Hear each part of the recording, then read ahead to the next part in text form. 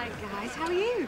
Oh, not bad, Anita. Good to see you. Terry, this is Gary and Michelle. I was telling you about them. Hello, nice to meet you. Hi.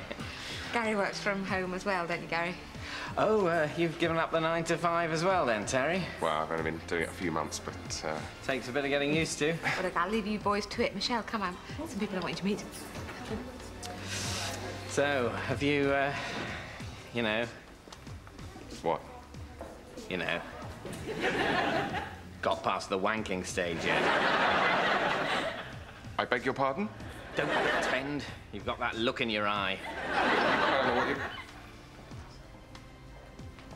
Does it get any easier?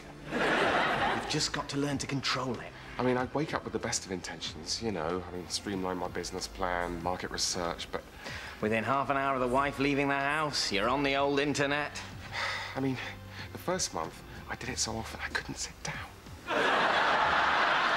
We've all been there. It's getting harder to explain to Anita why I'm not making any progress with the business. You know, I mean, I can't tell her that instead of phoning potential clients, I'm just frantically wanking off over the most mildly arousing image on daytime TV. See, you- you've just got to learn to timetable it properly. Really? Mm, it's like a reward system. You, you, you make a good phone call, have a wank to celebrate. Works for me. Sounds like a good idea. I mean, I nearly wanked the whole business away a couple of years ago. Had to claw it back from the brink. Hey, what are you boys clooning over? no, uh, Gary was just giving me some really good advice about working from home, you know, keeping track of your finances, allotting your time effectively. You should be telling you how to rein in the wanking. I mean, on your own at home all day, I know what I'd be doing.